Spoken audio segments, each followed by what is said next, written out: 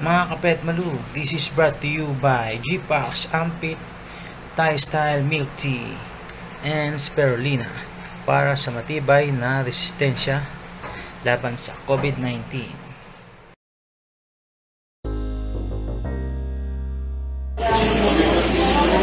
Good morning mga pet malu. So dito tayo sa Mandaluyong City. Ayan, yung mga pila na kukuha ng lisensya. Hanggang doon sa Bandana. So ayan, yun yung mga pet malu. Time check natin, 9.30. Nakakakala. Comfort na tayo sa pila. So check natin kung gaano kahirap kumuha ng lisensya dito sa Mandaluyong City. Ang ang violation natin ay obstruction. Kahapon kasi palengke day, wala nang makain sa bahay. So namalengke kami. Ayan. Samahan niyo ako mga kapet malo kung paano kahirap o gaano kadali kumuha ng lisensya dito sa Mandaluyong City. Ayan mga kapet malo dahil pa nagdadatingan. Mahaba pa rin yung pila doon sa dito. Ayan. So ang process daw nitong pila nito ay dito check yung resibo mo. Kung ano yung obstruction, bibigyan ka ng payment para doon sa blue building. Tapos babalik ka dito para ko, hindi ko alam kung ano pang mangyayari. So check natin. Ayan mga pet na doon, nakapasok na tayo. May tagakuha ng resibo na may tagakuha ng resibo sa ating ah, violation ticket. Yan. So check natin gaano kahirap, gaano katagal gumawa ng lisensya dito sa munisipyo ng Mandaluyong. Mabilis, ano, mabilis ang mag-ticket. Mabilis mag-ticket, yan. Mabilis mag-ticket. Check natin kung gaano kabilis kumuha. Yan. So, time check natin. Ano na yata? 10.30 na ba? Check, time check natin. 10.35. Okay.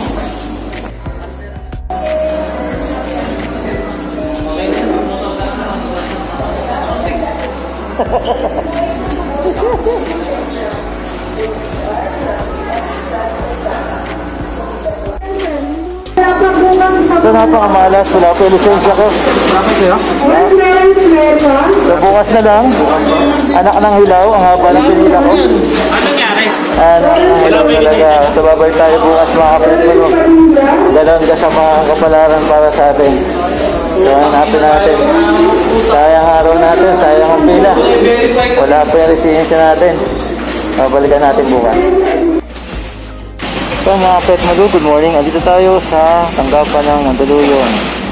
So yan, dito yung kuhaan ng lisensya. So ganyan kahaba yung ng lisensya. Hanggang doon sa labasan. May gilid pa yan.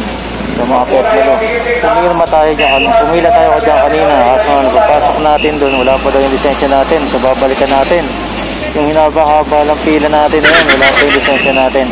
So babalikan natin ngayon. Yan yung haba ng pila rito ng pagkuha ng lisensya sa Mandaluyong.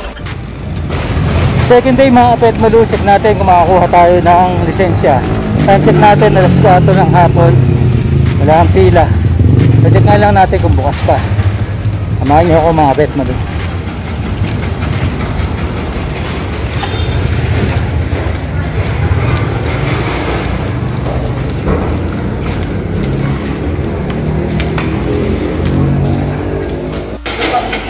So mga pet malu, nag-shoot pila pag alas 4 ng hapon.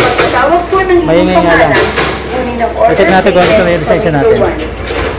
Ba sa kabilang building upang magbayad. Pagkabayad, bumalik po kayo dito sa window 2 at ipakita ang official receipt para sa pag-release ng inyong lisensya o Bila po ng maayos, sundin ang mga bilog na apakan.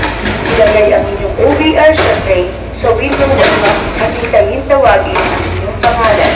Mangyari lamang kung tumabi ng maayos dahil may ibang opisina po sa building na ito na pupuntahan ng pang mga tao para dalhin ang physical distancing, pagsusuot ng face mask at ratio at iwasang magpag-usap sa inyong mga katat OVR mula sa ibang syudad o plaka. Bumila po ng maayos So mga pet malu, dito tayo sa blue building.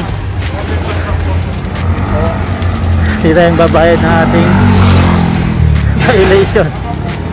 So, Pagkatapos sa building 1, balik ka rito sa building 2, tapos babalik ka ulit doon kasi ando yung lisensya mo. Kailangan pa ito may resibo na nabayaran mo na yung violation mo. Yeah? Wet malu. So mga Dito tayo magbabayad. License division.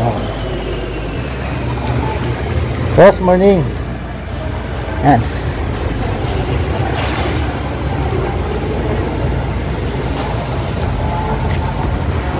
Kahit tayo. Anong kalatan-latan? Oh, pagbayad na tayo. 500 pesos. So, balik tayo dun sa kabilang building. Para makuha natin yung lisensya natin. Tapos, uwi na. Mas mabilis pala eh pag ah, hapon na. Kasi pag umaga, gabi pila, back office. So, bubalik tayo dun sa kabilang building. So, dito na tayo. Sa first building na puntahan natin. So, papasa natin to. Para makuha natin yung ating lisensya. LTR wala sa ibang syudad o plaka. Umila po ng maayos, hindi na mga tulog na apakan. Ang mga pet malu yan ha? Na mga pet malu. Ito natin yung lisensya natin. Alright, pwede na ulit mahuli. Anak ng hilaw. So, syempre, cards to experience. Tara, uwi na. So, ito naman dalo yung salamat. Please like and share. Don't forget to subscribe to my channel. Okay, uwi na tayo mga pet malu. So mga pet malu kung na natatandaan nyo yung Monday, napakahaba ng pila dito. Diba? Eh pagka pala alas 4 ng hapon ka wala pa halos 10 minutes nakuha mo na. Eh nung Monday pumunta ako, alas 9 na. Biglang ang alas 11 nandun na ako. Kaso nga lang, kasama ang palad, wala pa yung lisensya ko. Sabi nung cashier dun sa loob. So bumalik tayo ngayon. Makikita niyo yan sa likuran ko. Ganyan kahaba nung Monday yung pila. Pero ngayon, di ba? Halos ikaw na lang. So, ganun lang ang sikreto mga pet malu. Ayun ay kung hindi mo kailangan kuhain ng maaga yung lisensya mo. Kasi nga, karamihan na kumukuha rito, puro grab, ah, biglang bumiyahe. Kasi, puro, alam yan, puro tricycle, puro motor. Grab, Lala Move, mga Food Panda. So, nakakaawa rin. Kasi, almost half day, wala silang nagawa, wala silang nabiyahe. Kasi nga, yung lisensya nila nandito. So, ganoon lang mga pet palu. Ingat-ingat sa biyahe natin. So, please subscribe to my channel. Salamat sa pagsama niyo sa akin pagkuha ng lisensya ko. So, pwede na ulit tayong bumiyahe. Alright, let's go!